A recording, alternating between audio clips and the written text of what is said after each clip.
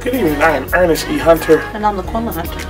and we are the producers of an awesome movie called Caught Up Memoirs of a Preacher's Wife. And we're excited. Yes, we are so excited. And matter of fact, we want to invite you out to the movie theaters and to the theaters to view this awesome and uh, a wonderful And movie. this particular film is just going to be so impactful. It's going to teach you how to navigate through difficult times. We're living in an area in a season where challenges are everywhere. Yeah. But this film will come real raw and relevant.